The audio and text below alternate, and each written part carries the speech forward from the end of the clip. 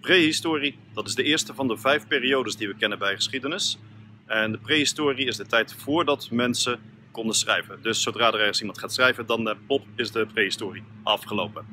Uh, nou, we weten dus niet precies wanneer dat was. Maar vanaf de eerste schriftelijke bron die we kunnen vinden, zeggen we dus dat er geen prehistorie meer is.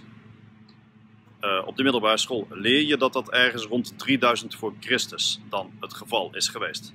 Maar ja, weet je, uh, straks dan vindt er iemand een boek, uh, een mooie roman van 500 jaar daarvoor. Nou, dan moeten we het even aanpassen. Ja, moet je ook niet te moeilijk over doen. Dankjewel.